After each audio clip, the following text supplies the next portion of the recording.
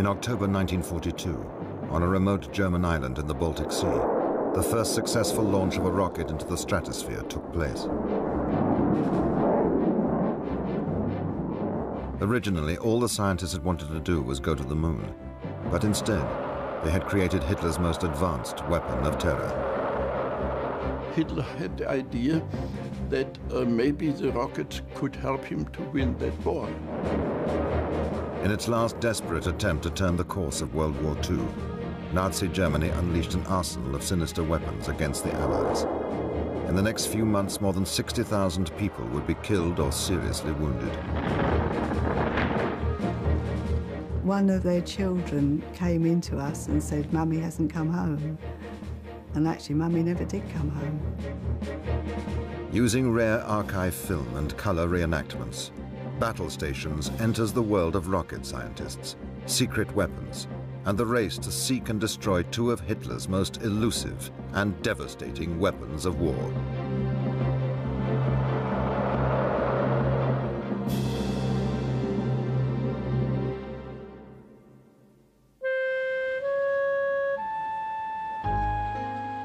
Germany's fascination with rockets and the idea of interplanetary travel dated back to the 1920s, when a wave of rocket fever swept through the country.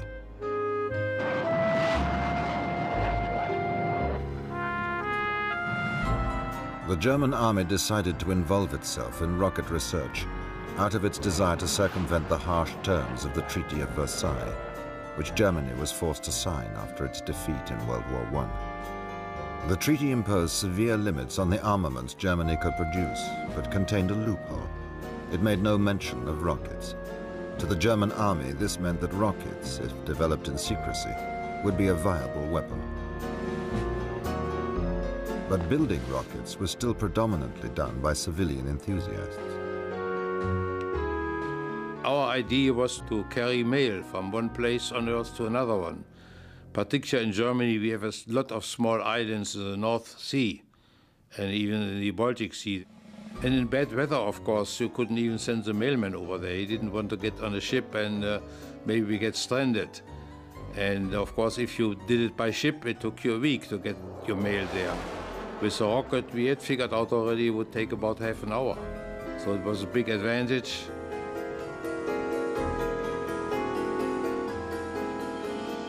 During this period, a brilliant young aristocrat named Wernher von Braun became interested in rockets. He'd been obsessed with the idea of space travel ever since his mother had given him a small telescope as a child.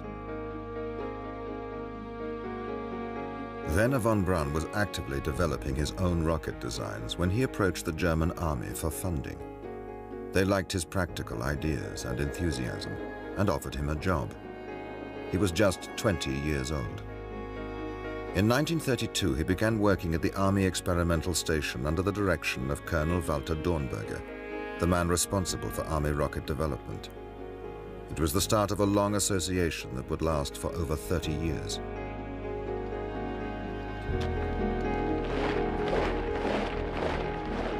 When Adolf Hitler came to power, he poured money into a massive expansion of the armed forces and granted additional funds for the army to build a new rocket research facility. The location chosen for the new site was Peenemünde, an isolated island on the western edge of the Baltic Sea. In 1936, construction crews began turning the forested island into the most modern research center in the world.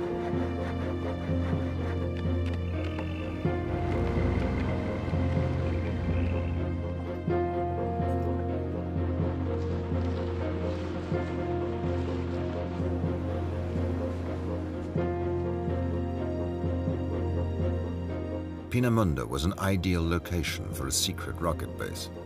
Heavily forested, it could hide workshops, power plants, and test stands. The whole facility was self-sufficient. My first impression in Peenemünde was that it was a huge enterprise. The area was great on the island. There was a little railroad connecting the different points. There were big hangars, big halls, big laboratories, manufacturing halls, test stands. It was a very great impression. Within three years, Peenemünde expanded to include shops and living quarters for the community of 4,000 skilled workers living within its perimeter. A railway brought in another 11,000 employees who lived in nearby towns. The security was very tight, and you normally had to stop at the gate and show your pass. And even the people who came with the railroad, they were normally even checked twice. They were checked once when they got on the railroad, and they were checked again when they finally entered the main area of the facility. The people working at Peenemünde developed a real sense of community. Its sea and long sandy beaches were ideal for recreation. For 20-year-old mathematician Ruth Kraft, it was a perfect place to work. It was a very attractive location on the Baltic Sea. This was a dream holiday destination for people from middle Germany like myself, back in the 30s. I soon sensed that the facility was consciously designed as a kind of ghetto for scientists. Angelegtes Wissenschaftler-Ghetto. The German Army's first two experimental rockets, designated the A-1 and A-2, were very small and basic. But the A-3, which was 20 feet in length, was a practical research device. Its purpose was to improve the steering by the use of gyroscopes and to develop the thrust of the motor which would propel the missile through the sound barrier.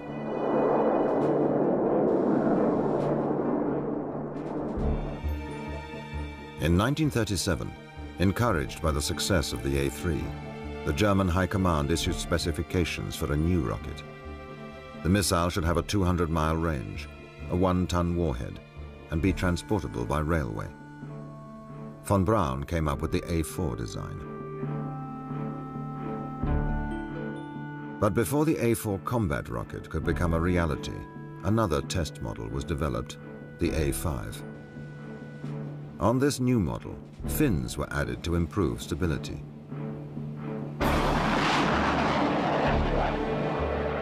Test launches over the Baltic Sea were encouraging. Wernher von Braun seen here helping to recover a rocket, was to use the A5 as the standard test model until the A4 could be completed.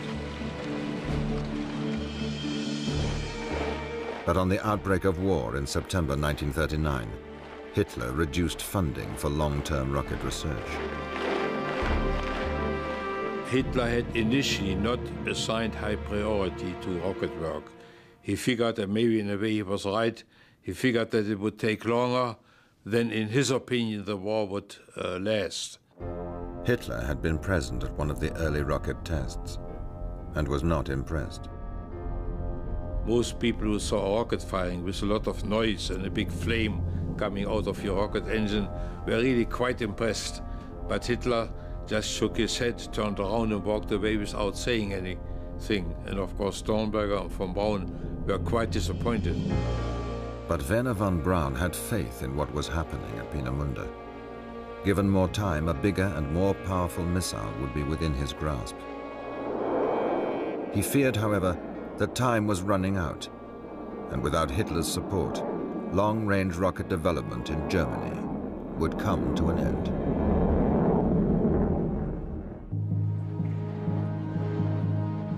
The development of secret weapons at Peenemünde had once again become a priority for Adolf Hitler.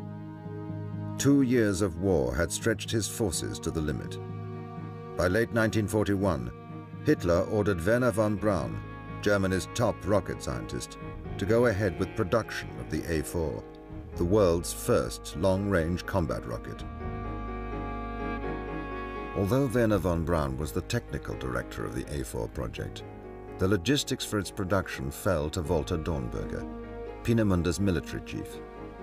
The friendship and common aim of the two men would prove vital to the project. Along with Dornberger, von Braun had assembled a team of brilliant scientists and engineers to produce the A4 rocket. Augusta Frieder was von Braun's secretary in those early years. Dr. von Braun war ganz leger. Dr. von Braun was very relaxed, never strict, or the way one imagines a boss to be. In the evenings, we would write down all the results of the tests. We were enthusiastic about the idea and how to put it into effect. We never really thought of it as a weapon. It was always a research project. Er hatte ja die Idee. Wernher von Braun worked tirelessly on the many technical problems of his design. Dr. von Braun, Dr. von Braun was obsessed with his idea. Otherwise, he would not have been able to inspire his colleagues the way he did, and they wouldn't have been so devoted to him. He also drew the right people closer to him, and they really worked hard to continue his line of thought.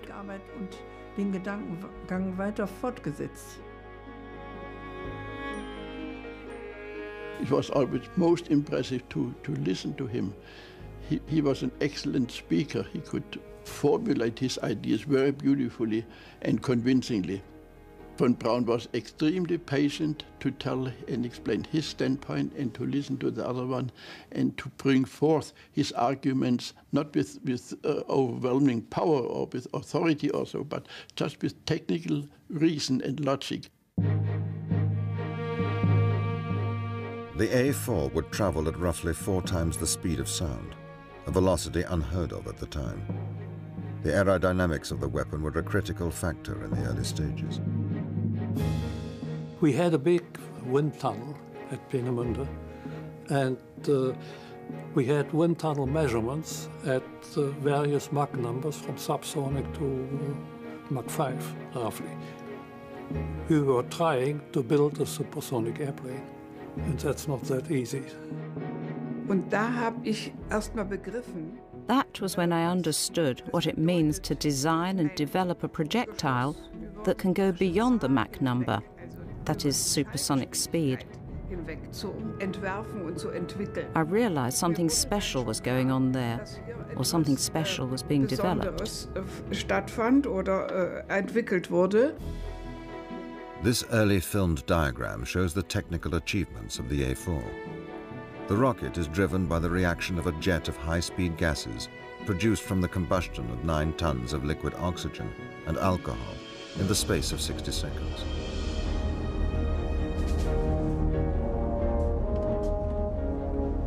The man responsible for this revolutionary breakthrough in the rocket motor was Dr. Walter Thiel. Walter Thiel was in a way parallel to von Braun. He was reporting to von Braun, so von Braun was definitely the overall boss. But Thiel had pretty much his own field. He was not really a designer, he was in fact a chemical engineer himself. But he was in charge of the development of the rocket engine. The capacity of one fuel tank was four and a half tons of liquid oxygen. Keeping the fuel tanks empty until the launch made the A4 easier to transport. Located above the fuel tanks were two gyroscopes which controlled the rocket. These operated the large graphite vanes placed behind the jet to deflect the exhaust gases and so steer the rocket.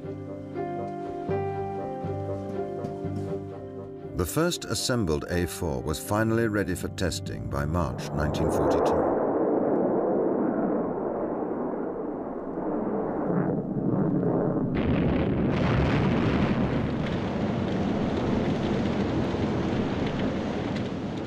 Was a spectacular failure. When another test failed, the A4 critics in Berlin wanted the project cancelled. It was costing billions of marks with nothing to show for it. Von Braun was worried. Und wenn dann ein Versuch When the tests failed, he came into his office. Although he was very angry, he kept it to himself. It was terrible for him because each time it was a setback and he couldn't make any progress. Und er kam nicht vorwärts. The second launch failed at about that point. So again, many people said, we told you so, you just can't make it. And then fortunately with the third one, which was really the last one which had been permitted by Hitler, Hitler wanted to cancel the whole operation and he insists that you at least have to show us in one good launch that you can make it, that you can obtain a reasonable uh, distance with your missile. On October the 23rd, 1942, an improved A4 was fired.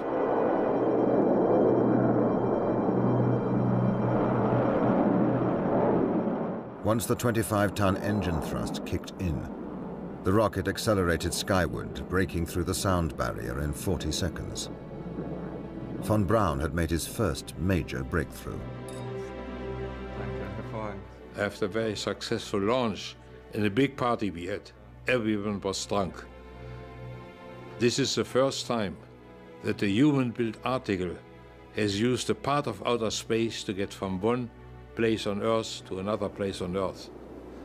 And so that's for me really the beginning of the space age. But the work at Peenemünde was far from over. Another secret weapon was now being developed that would be the prototype of the modern cruise missile.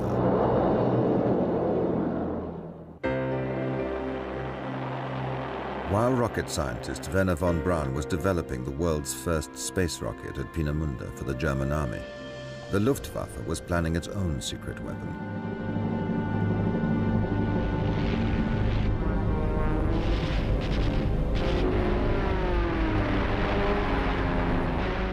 By spring 1942, the war was going badly for the Luftwaffe.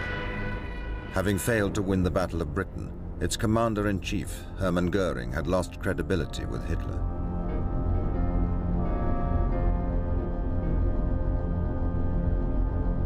The second in command of the Luftwaffe was Erhard Milch, a ruthless and ambitious man who before the war had built Lufthansa, Germany's national airline, into one of the world's finest. Hitler liked Milch. The fact that he had a Jewish father did not matter. Milch was determined to restore the Luftwaffe in Hitler's eyes and proposed a new weapon, a flying bomb. Milch maintained that unmanned flying bombs offered numerous advantages over conventional bombing. They were cost-effective, had large payloads, and there was no risk to aircrew. Unlike the rocket, which was taking years to develop, the Luftwaffe wanted a quick solution and decided to adopt the pulse jet engine for its flying bomb, now designated the Fi-103.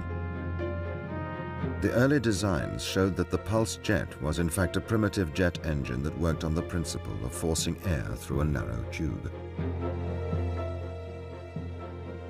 The Fi-103 was launched by placing it on a sled mounted on steel rails on top of a long ramp similar to a ski ramp. A rocket booster then catapulted the flying bomb several hundred miles per hour in a matter of seconds. The Luftwaffe tested the Fi-103 at Peenemünde, although this was kept totally separate from the Army's rocket tests. The first flying bomb only flew for 60 seconds and subsequent launches failed miserably. But Hitler saw enough potential in the weapon to let development continue. The Fi-103 was in fact the prototype of the modern cruise missile.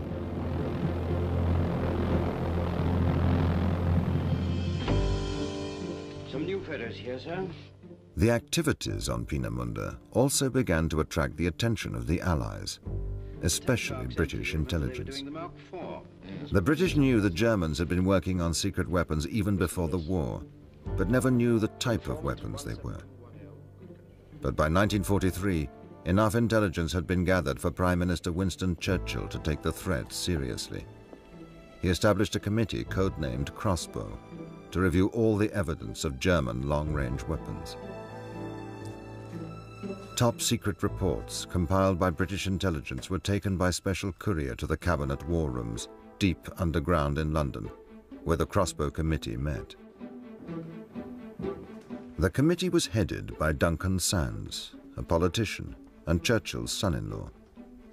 The other leading figure was Lord Cherwell, the British government scientific advisor who strongly argued that the Germans were not capable of building a rocket which would pose a threat to the country. In simple terms, Cherwell believed the solid fuel rocket would be too large to be a practical proposition and that any alternative, particularly the use of liquid fuel, was beyond the technology of the time. Sandys did not agree. Cherwell insisted that talk of a rocket was a hoax to conceal some other weapon, possibly a flying bomb. Sandys, always the shrewd politician, believed the Germans probably had both a rocket and flying bomb, and immediately ordered an increase in aerial reconnaissance missions. A great deal of the evidence for the German long-range weapons had so far been obtained by photographic reconnaissance. Looking for secret weapons was a new field for the photographic interpreters, who had been trained to look for conventional military hardware and movement. You always checked in case there was something there that wasn't there before. And that's when you found, oh, there's a new road there, or there's a new there's a new building there. What's that? So you get out the old cover and look that up. No building. So what are they putting up there? It just worked from checking over and over again. The breakthrough came when interpreters found a small pilotless aircraft sitting on the end of a firing ramp at Peenemünde. A possible flying bomb. Then, on June the 23rd, 1943, another sortie produced a photograph where a rocket could clearly be seen. The British were stunned. It was now obvious the Germans were planning a rocket attack on Britain. Duncan Sandys immediately requested a massive bombing raid on Peenemünde. On the night of August 17, 1943, the Royal Air Force amassed 500 heavy bombers to attack Peenemünde. Their mission was not simply to destroy the base, but to kill the scientists and key people whose work threatened England. The raid was launched in complete secrecy. The true nature of the target was not revealed even to the RAF bomber crews. The inhabitants of Peenemünde were used to hearing enemy bombers fly over on their way to bomb Berlin. We did not take any notice of the sirens wailing. We did not even get out of bed for that because we were used to reconnaissance planes in the air, but we always thought they would not see us. High explosive and incendiary bombs began falling. Peenemünde was caught unprepared and soon became a sea of flames.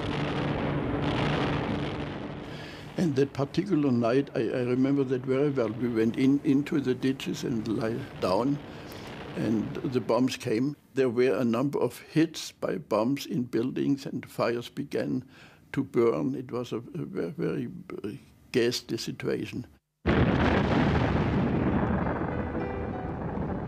Due to the phosphorus and the air pressure from the bombs, everything, including the debris, the sand, pine needles, were flying around.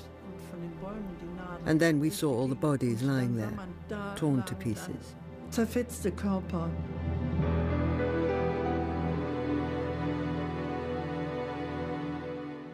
A total of 735 people were killed, including many scientists, among them the man responsible for the A4 motor, Dr. Thiel.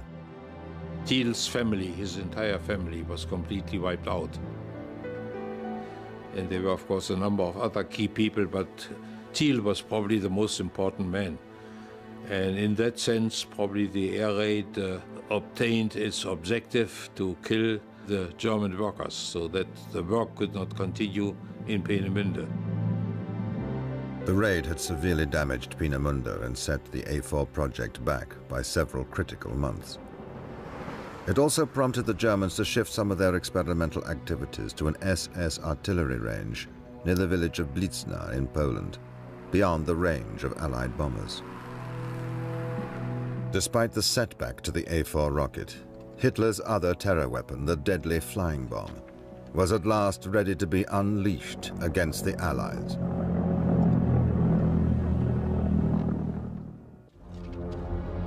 Although the devastating RAF raid on the German base at Peenemünde was a serious setback to German rocket development, it had not affected Hitler's new flying bomb. By 1944, these terror weapons were now being secretly transported to their launch sites. A series of aerial reconnaissance missions by the Allies along the French and Belgian coast had identified a number of possible launch sites for long-range weapons against Britain. Gradually, one was able to build up that there was something going on. So then we managed to plot the whole of that coastline. There must have been over a hundred sites, and alarm bells rang because it was much bigger than anybody expected. And all the sites were pointing to London. On June the 13th, 1944, exactly one week after the Allied invasion of Europe had begun, the first German flying bomb was launched across the English Channel. It landed in the east end of London, where it killed six people. Nazi propaganda minister Joseph Goebbels announced to the world that Vergeltungswaffe 1, Vengeance Weapon 1, had been used in retaliation for the Allied invasion of Normandy. The weapon was now known as the V-1. Over 3,000 V-1s would be launched against London in the next few weeks.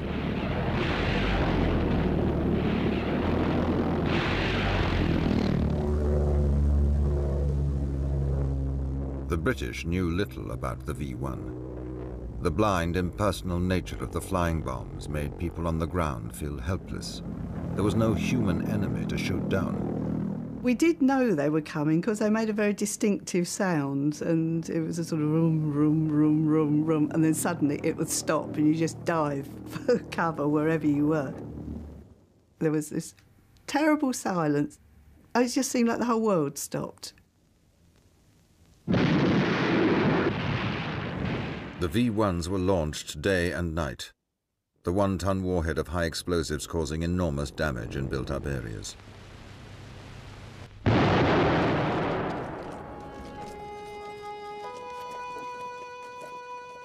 Cyril de Man was a chief fire officer at the time. I was on many a job within minutes before the smoke had gone down. It was horrific, really. And you'd have uh, people, uh, members of the family, or possibly neighbours and people they knew, seeing dismembered bodies laying all over the street, and there were scenes of, uh, uh, of terrible distress. I saw so much of it that um, I hardened myself. I, you know, I, I couldn't afford to uh, be emotional about it, otherwise I wouldn't have been doing my job. Nobody escaped the effects of the indiscriminate bombing, although London schoolboys like Tony Moss felt it was an adventure. I suppose I didn't fully sense the danger, being only about 13 years of age. We got used to them. We even used to go out into the garden and watch these noisy things go over. They sounded like a motorcycle going across the sky. And uh, eventually, of course, they became known as flying bombs and then buzz bombs, and then people nicknamed them the doodle bug. The British authorities were stunned by the magnitude of the bombardment. It had been difficult to plan how best to defend London against the V-1 without knowing the precise nature of the weapon. The main defenses were based on dealing with conventional bombers. Huge gas-filled barrage balloons were erected. Their thick cables were designed to rip the wings off any flying machine that flew into them. They eventually accounted for 232 flying bombs. The anti-aircraft guns found it difficult to stop the smaller, low-flying V-1s.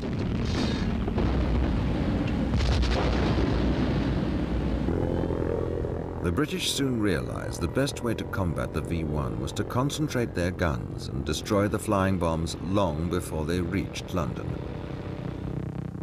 Two new American defense weapons were also introduced. A radar system which plotted the course of the flying bombs giving the gun crews more accuracy, and a new close proximity fuse in the gun shells, which exploded when it was within range of the target, turning a near miss into a hit.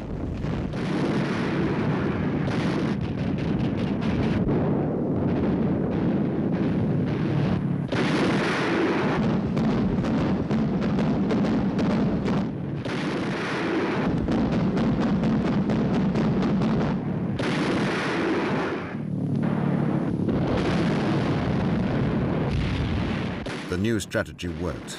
and V-1s were being shot out of the sky at an increasing rate. The Royal Air Force also had considerable success shooting down V-1s. They deployed specially adapted Spitfires and the Hawker Tempest, their fastest fighter. However, because of its speed and size, the V-1 was a difficult target. If you saw a flying bomb coming towards you, it was no good saying, oh, I'll get in behind it and shoot it down, because in fact you would never have caught it in that way. We had to have an entirely different technique of getting up above them, uh, then diving and with an aileron turn so that we in dive, dive virtually on top of them and then flattened out behind them, and then you're in a position to, to shoot it down. If you got directly behind it, you had the heat haze from the jet, and all you could see was a couple of wingtips. But you'd pull up, pull into about four or five hundred yards, and give it a burst.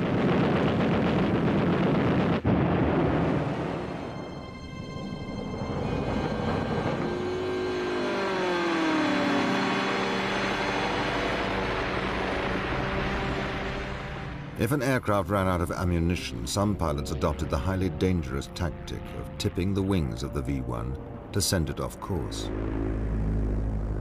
I put my port wing underneath the starboard wing of the flying bomb, and I'm afraid that that didn't work. It just skidded away from me. And I thought, well, this is no good, so a change of technique. Uh, next time I put my wing under and then immediately flicked my stick over and the thing just catapulted into the ground, into a wood just outside Sevenoaks. By the end of August, only one bomb in seven got through to the London area. It looked as if the V-1 had been mastered.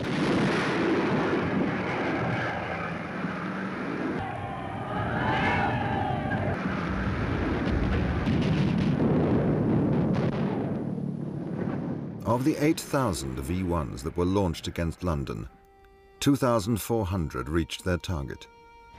The price of Hitler's terror weapon was high. A total of 24,000 civilians were killed or seriously injured. Three quarters of a million houses were damaged. Although the V-1 campaign had failed, a second threat to England now drew near. A silent, deadly missile was about to be hurled at London. By 1944, German rocket scientist Wernher von Braun and his team had made great strides in rocket technology since their first successful launch of the A4 two years earlier. Yet problems with the A4's propulsion system meant von Braun was still unable to give Hitler a fully operational combat rocket.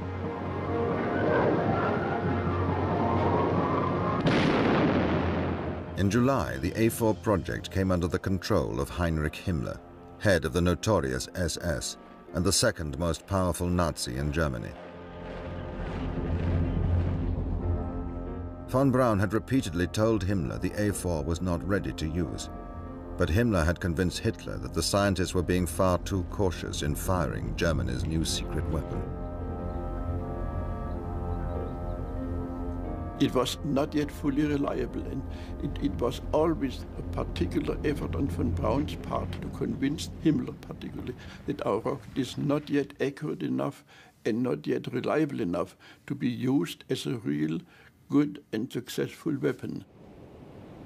When Hitler finally decided to really use it as a weapon and to eventually call it the V2, it was not completely developed. So we should have had an extra two or three years to do final developments. And then the V2 would have been able to have really a very accurate, a pinpoint uh, a missile, which can pick out a building uh, in a, a city complex or ship at sea.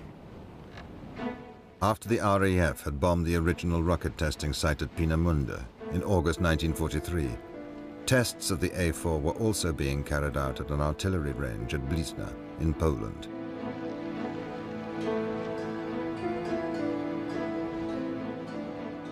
The Polish resistance had been keeping a vigilant watch on the activities at Blizna, when during a test flight, an A-4 fell from the sky landing on the banks of the River Bug without exploding.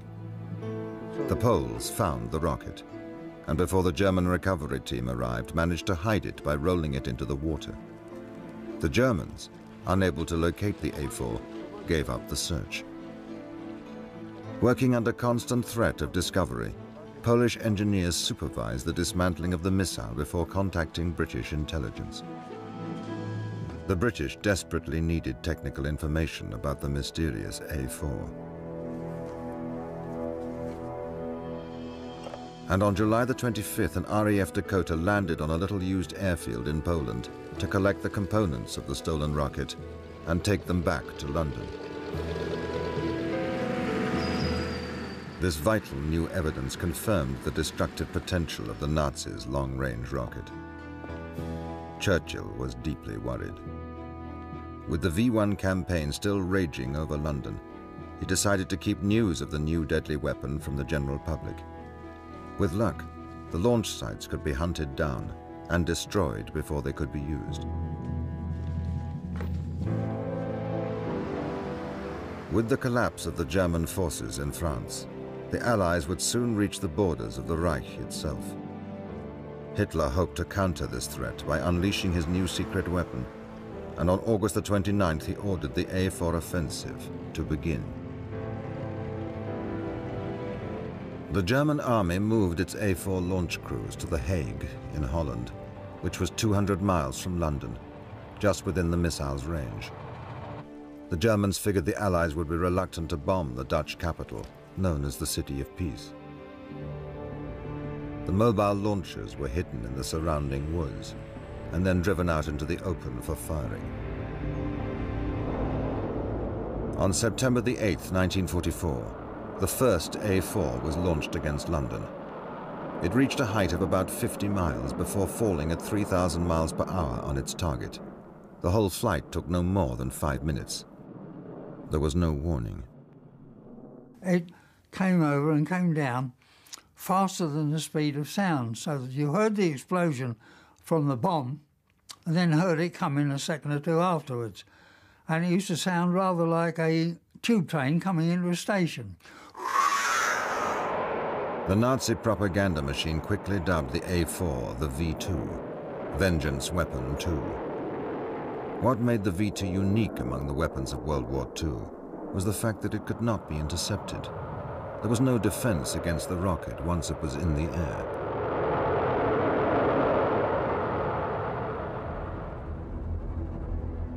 Sixty days after the offensive began, the local Woolworths in Deptford, East London, was crowded with shoppers, mostly women and children, when a V2 hit the store.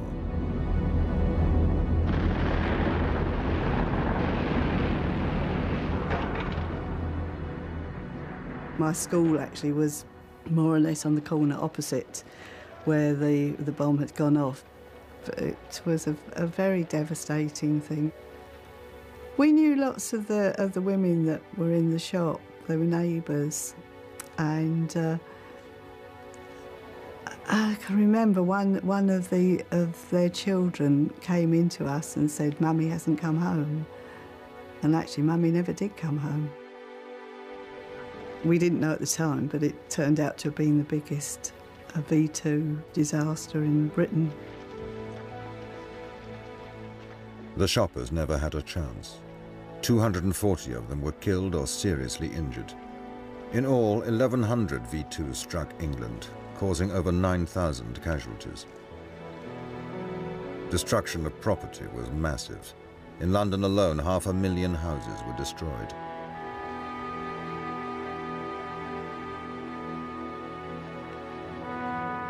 As the final months of the war drew to a close, the Germans, who had stockpiled thousands of both the deadly V-1s and V-2s, continued launching their V-weapons. When the launch sites in France and Belgium were overrun by the Allied armies, the Luftwaffe began using bombers to launch V-1s. Over 1,000 were fired in this way.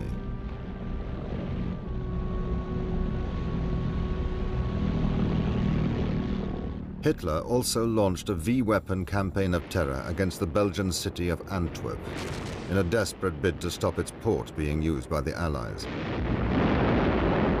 9,000 V-1s and 1,600 V-2s were fired on the city, causing 10,000 casualties. But time had run out for Hitler. The Allied forces were already advancing into the heart of the Third Reich. Yet both the V-1 and V-2 continued to be launched until six weeks before the war's end, on May the 8th, 1945.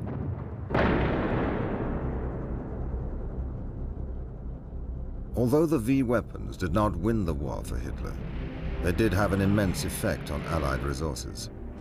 They forced the Allies to divert thousands of aircraft, 2,700 guns, and a quarter of a million troops from frontline duties. After the war, conflicting opinions rose as to how effective the V weapons had been to the German war effort. General Eisenhower, the supreme Allied commander, remarked that if Hitler had succeeded in using the V weapons against English ports instead of London, the invasion of Normandy might have been written off. On the other hand, Albert Speer, the German Minister of Supply, thought the V-2 had done the Germans more harm than the Allies, as the quantity of highly skilled men and scarce raw materials could have produced a large number of jet fighters which would have been decisive in the air war. With the war's end, there was a frantic race between the victors to capture as much information on the V weapons as they could. The Americans took the V-1, renaming it the JB-2, which they planned to launch against Japan. 100 V-2s and tons of spare parts were also seized and transported back to the United States.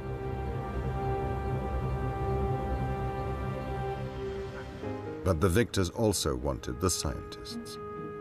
Wernher von Braun made a conscious decision to offer his services to the Americans, and on May the 2nd he surrendered to the American army. Von Braun and his team of 118 German scientists and engineers went to work for the Americans at the White Sands Proving Grounds in New Mexico, developing guided missiles. Due to their new allegiance, it was considered unwise for them to take pride in the A-4 weapon system, which had been used as a means of terror against Allied civilians. In America, Wernher von Braun's leadership qualities again shone through, and he was able to return to his original dream of putting men on the moon. He was a genius as an engineer, as an organizer, as a project planner, as a leader, as a person who could convince others of uh, his ideas. I think with Wernher von Braun we would not have uh, uh, the space program that we have today. We certainly would not have been on the moon, and uh, we probably would not have an international space station going around the Earth today. Wernher von Braun had begun his career with the top secret rocket, but his dream was realized when in 1969 the Apollo spacecraft landed men on the moon it was just 27 years after the first successful launch of the A4 at Peenemünde.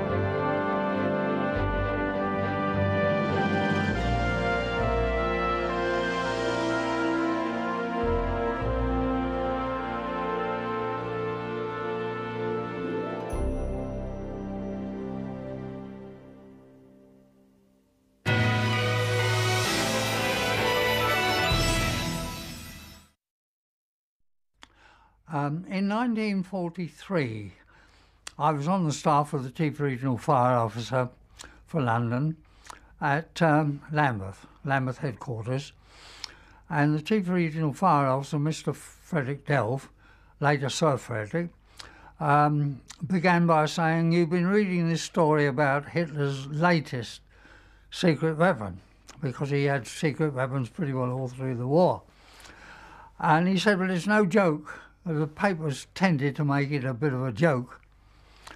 Uh, he said, um, We know, in fact, that it's um, a pilotless aircraft which got a 10 ton warhead and um, uh, it's directed and it's expected to be aimed at London in large numbers.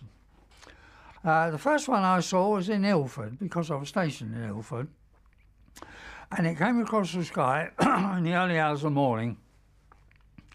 Uh, there was the blackout, of course, which was very intense, and the first thing we saw was a glow, uh, a red, reddish glow, quite like like a fireball, coming towards us, and there was a terrific noise, like uh, I can only liken it to half a dozen motorbikes without exhausts running at top speed to give you an idea of what it was like. There was a tremendous racket, and it came roaring towards us, flying moderately high. They normally fly at about um, between three and four thousand feet, and this one would be about that, I guess. And um, I thought, first of all, wasn't used to these um, the flying bombs. I thought it was an aircraft, German aircraft, which had been set on fire by the RAF when it was about to crash. But um, this this this row I thought was something to do with its condition, and then all of a sudden there was a sudden halt. The noise stopped like that, and then we're just watching the thing, and uh, the flame went out, and I couldn't see what happened after that because it was in the dark.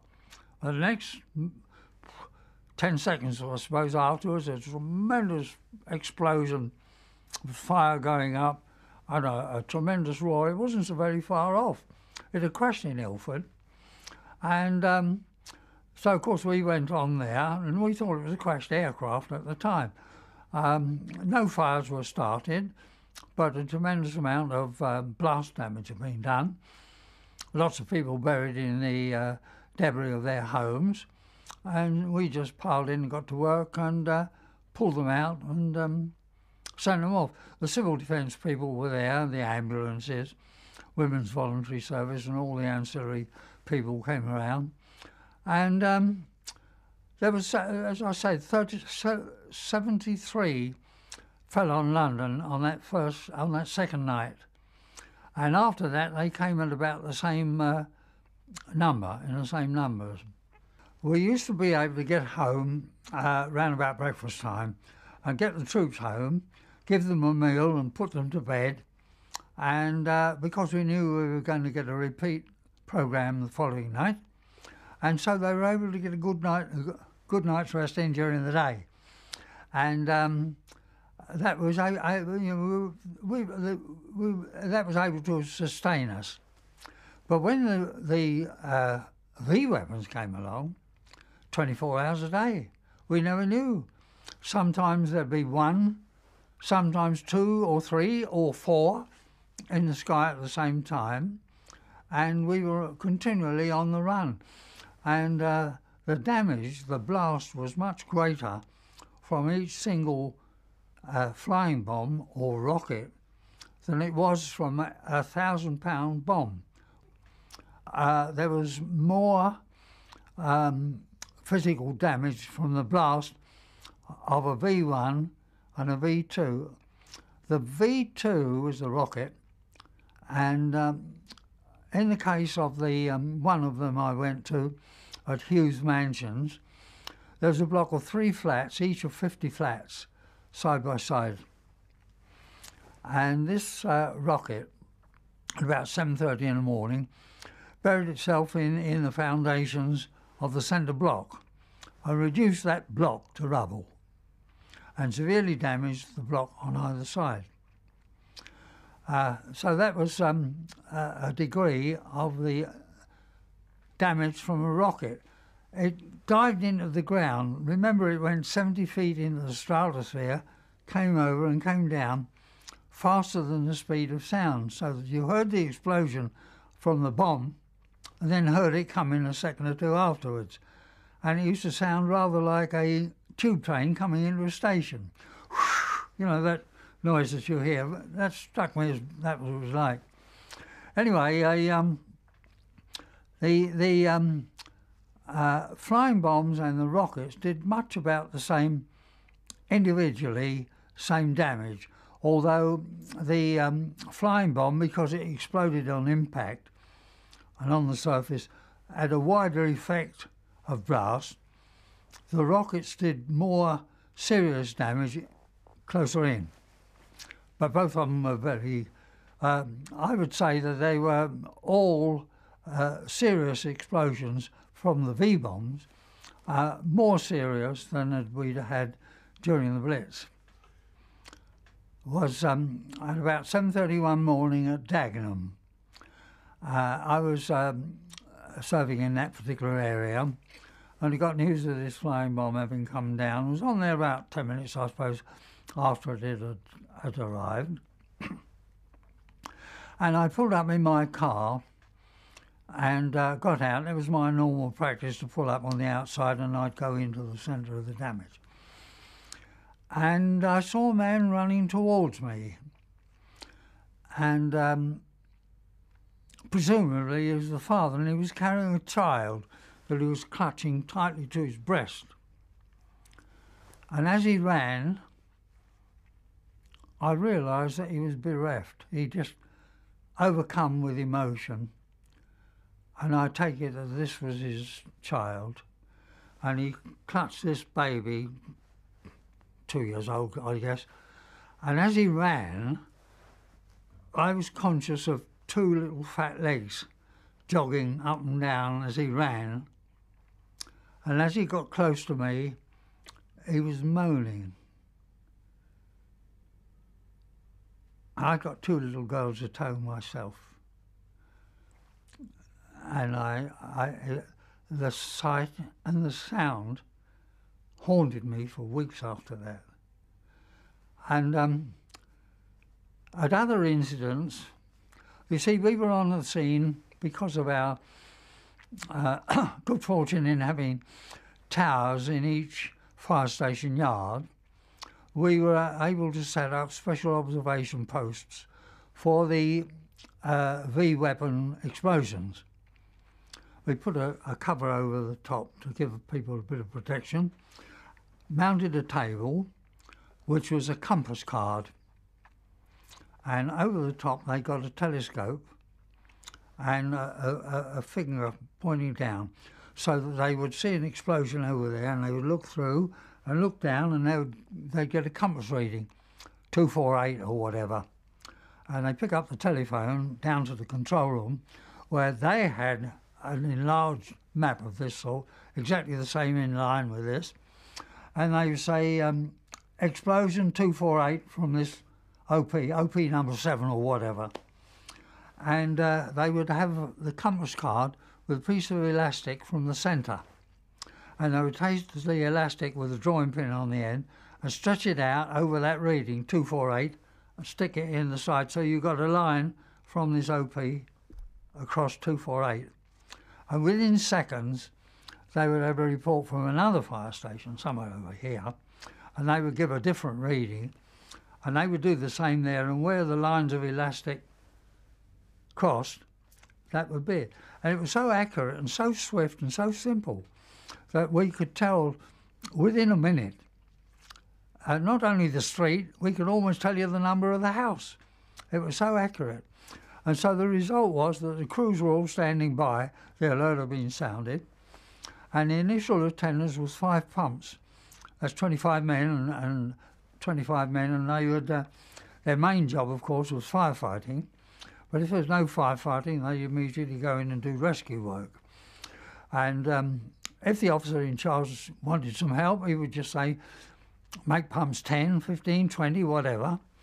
And um, they would um, make the number of pumps at that incident up to that particular number. So um, that's how we used to get on.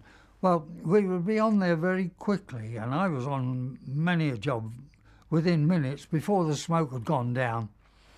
And um, it was horrific, really.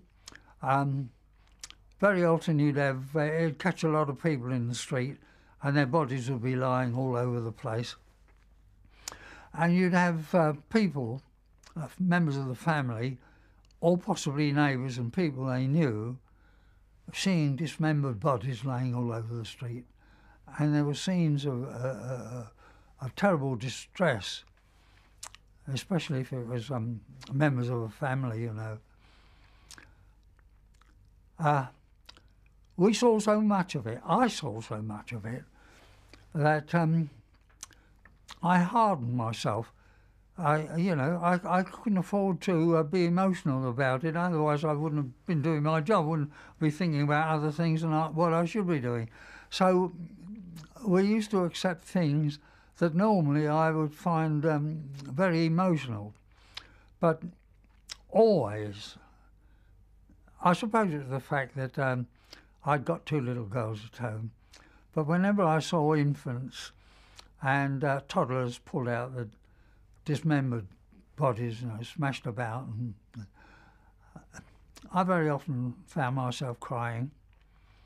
Just couldn't help it. Not ashamed of it. It just happened. I, I, I, didn't worry about adults when they were pulled out. It didn't affect me the same. But children was the same. And uh, you would see this terrible distress about people who've just seen the shattered bodies of their members of their families laying there and being pulled out and maybe helping to pull them out themselves.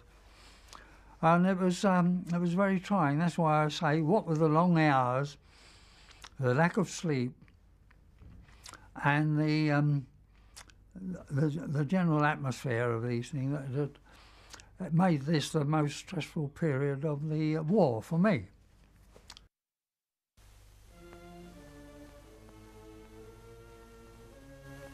Some of them landed in the port. Many landed in the city. Life in Antwerp was transformed.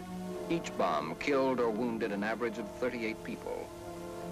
Old women accustomed to a round of housekeeping and shopping were suddenly crushed under tons of debris.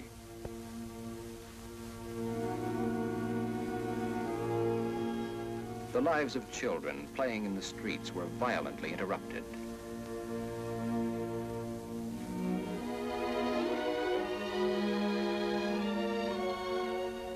Became a ghostly setting for those who escaped death.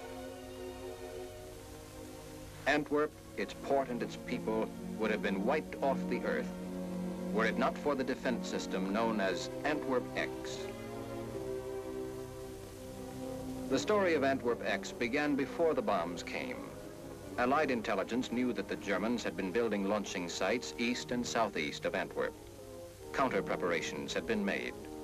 Under General Clare Armstrong, a combined organization of American, British, and Polish gunners were assigned to the defense of the city.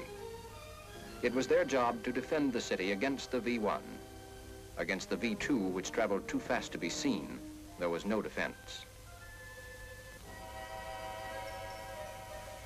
We knew that the German attack could come from many directions. Our strategy was one of shifting defenses.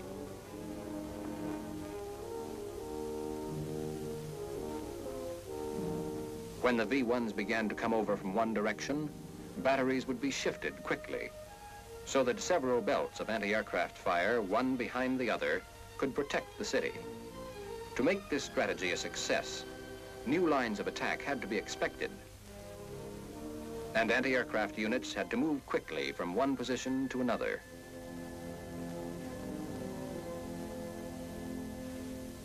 The gun crews around Antwerp learned to meet the extraordinary demands made by their jobs. A move order was just a couple of points on a map, but to the men it meant something more, something vital and urgent. They had seen the damage and death that the V-1s could bring. They knew that lives in Antwerp were at stake they learned the importance of moving quickly. At all hours of the day and night, the small towns of Belgium shuddered as heavy equipment rushed along the quiet streets on the way to new positions of defense. The men got to know their jobs so thoroughly that handling the guns became second nature to them. It was like walking or talking. It seemed they had done it always. They learned speed in setting up, speed in getting the word through, speed in firing.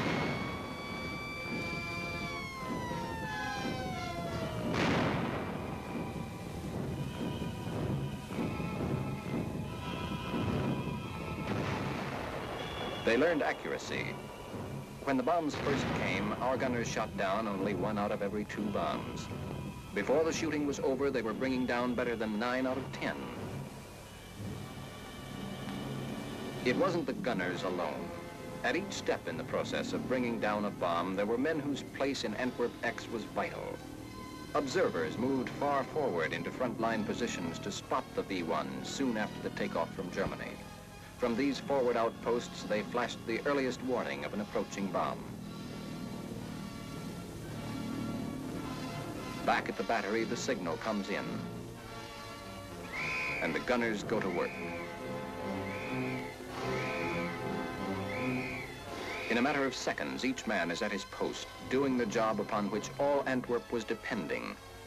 A job of cooperation, a team of American and British troops blending its efforts.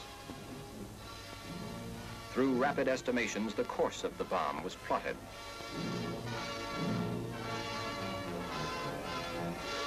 Plotting was based on information received by radar units.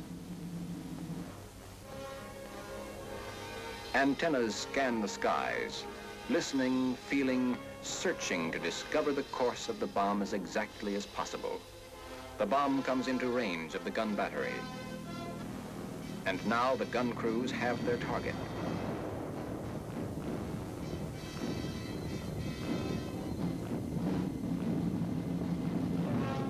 When one belt of guns failed to bring down a V-1, there was at least one other battery backing up the first.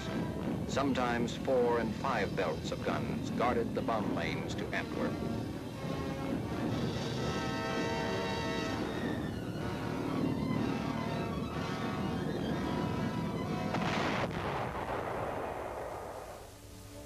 For 160 days, the men of Antwerp X were on duty every day.